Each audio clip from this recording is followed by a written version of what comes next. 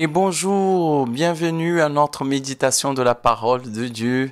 Ce mercredi 18 août, nous méditons la parole du Seigneur dans le dans l'évangile de Saint Marc, chapitre 20, versets de 1 à 16.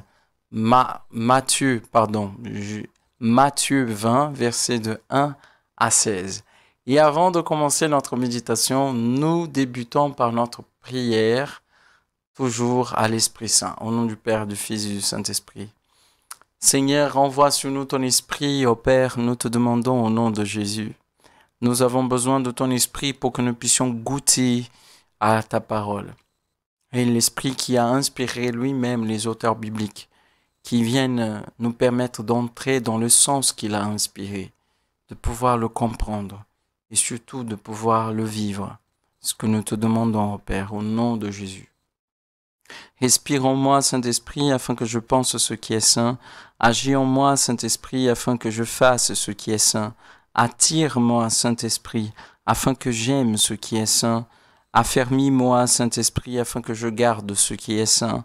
Et garde-moi, Saint-Esprit, afin que je ne perde jamais ce qui est saint. Au nom du Père et du Fils et du Saint-Esprit. Amen. Donc nous allons lire ces versets pour commencer notre méditation. En ce temps-là, Jésus disait à ses disciples cette parabole. Le royaume des cieux est comparable au maître d'un domaine qui sortit dès le matin afin d'embaucher des ouvriers pour sa vigne.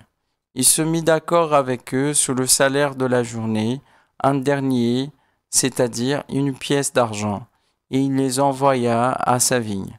Sorti vers neuf heures, il en vit d'autres qui étaient là, sous la place sans rien faire. Et à cela il dit, Allez à ma vigne vous aussi, et je vous donnerai ce qui est juste. Ils y allèrent, il sortit de nouveau vers midi, puis vers trois heures, et fit de même. Vers cinq heures, il sortit encore, et en trouva d'autres qui étaient là à leur dire. Et, et leur dit, Pourquoi êtes-vous restés là toute la journée sans rien faire? Lui répondirent, Parce que personne nous a embauchés. Il leur dit, Allez à ma vigne vous aussi.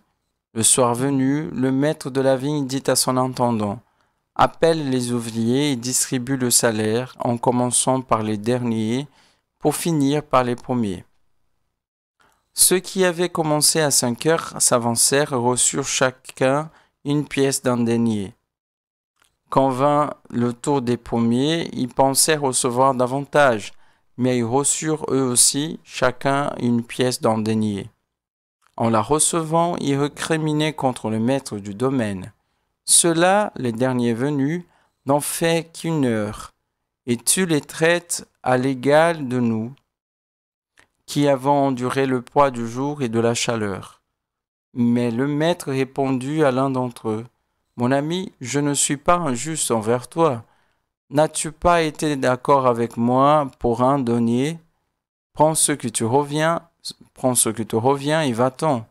Je veux donner au dernier venu autant qu'à toi. N'ai-je pas le droit de faire ce que je veux de mes biens? Ou alors ton regard est-il mauvais parce que moi je suis bon? C'est ainsi que les derniers seront les premiers et les premiers seront les derniers. Voilà cette beau, ces beaux extraits de l'évangile. c'est un bel passage. Et de fait, ce que nous pouvons remarquer, c'est que les premiers, ils sont euh, blessés. Ils se sentent blessés, ils se sentent injusticés parce que les autres vont recevoir plus, en fait, la même quantité qu'eux. Et nous pouvons dire ils sont blessés par l'orgueil, en fait.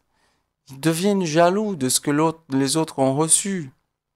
L'orgueil fait que je me considère meilleur que les autres, plus que je suis. Parce que nous sommes, nous sommes, nous avons tous de la valeur, nous avons de prix aux yeux du Seigneur, mais nous ne sommes pas meilleurs au pire en dignité. Voilà. L'orgueil va conduire les premiers, ceux qui ont travaillé toute la journée, à s'estimer meilleurs que les autres qui sont arrivés plus tard. Et ce qui est très mauvais, c'est que leur estime est basée dans la quantité de travail qu'ils peuvent produire. ils ont fait plus. On se croit meilleur que les autres? Parce qu'ils ont fait plus physiquement. Voilà.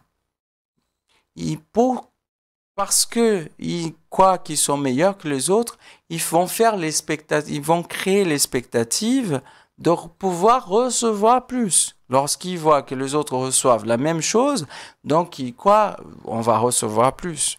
Puisqu'on a travaillé davantage, on doit recevoir davantage.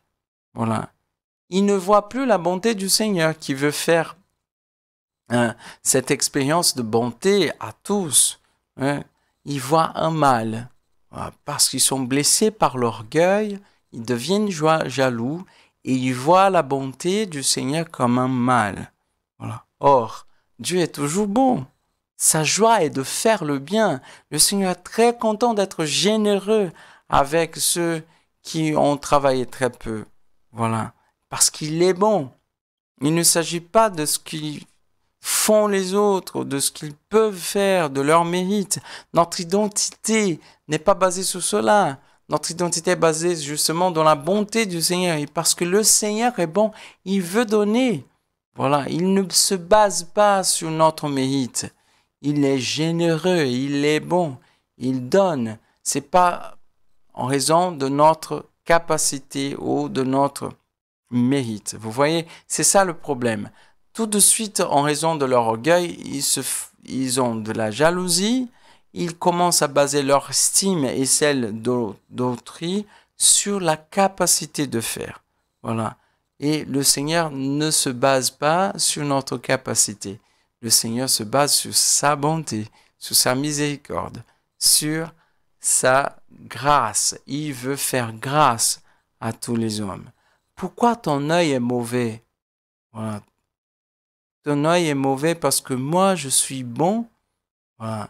Aujourd'hui, nous allons nous laisser interpeller par cette parole. Est-ce que nous ne sommes pas en train de regarder des choses qui sont manifestations de la bonté du Seigneur comme un mal pour nous? Est-ce que nous ne sommes pas trop blessés non plus par notre orgueil, en se faisant parfois jaloux du bien et du bonheur des autres? Voilà. Nous ne sommes pas non plus en train de voir la bonté du Seigneur dans nos vies comme un mal, comme une menace voilà pour nous, que nous nous laissons aujourd'hui interpeller par cette parole et demandons ensemble, par la prière, la grâce de répondre à cet évangile. Seigneur, nous te demandons aujourd'hui, par ta parole, viens laver nos yeux. Nous n'avons pas, Seigneur, à avoir un œil mauvais face à ta bonté, ta miséricorde, tes prodiges, tes merveilles. Donne-nous, Seigneur, toujours de nous émerveiller de ta bonté, de ta grâce, de ta miséricorde. Tu, tu es bon, tu nous as créés. Tu es toujours bon, tu es toujours disposé à nous pardonner lorsque nous tombons. Tu es rempli de miséricorde, Seigneur. Donne-nous de nous regarder, de regarder nos vies, de regarder les autres, par ce billet de ta miséricorde, de ta bonté, de ta générosité. Donne-nous, Seigneur, de te suivre et de pouvoir toujours contempler tes merveilles avec un bon œil, Seigneur, avec un bon cœur. C'est ce que nous te demandons, au Père, au nom de Jésus. Amen. Et je vous donne la bénédiction du Seigneur. Que le Seigneur Tout-Puissant vous bénisse, le Père et le Fils et le Saint-Esprit. Merci de m'accompagner sur cette vidéo. N'hésitez pas à vous inscrire sur notre chaîne et aussi à partager cette bonne nouvelle autour de vous pour que plus de personnes puissent connaître la miséricorde, la grâce de Dieu à, à travers sa parole. Voilà. Pour que plus de personnes puissent goûter à la parole de Dieu à travers ses méditations. Que Dieu vous bénisse et à demain.